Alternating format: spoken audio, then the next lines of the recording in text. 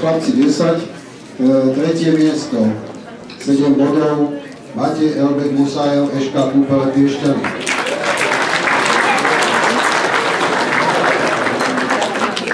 Druhé miesto, Marek Tobias Jani, CVČ Liptovský Mikuláš, 7,5 bodov.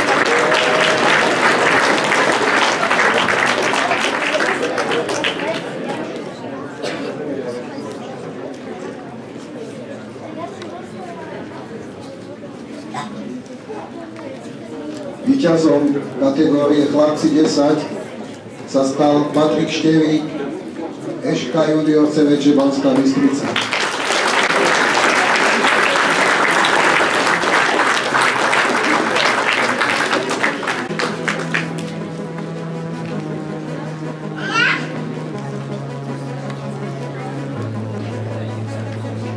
Tak smelé, chlapci, Have a good night.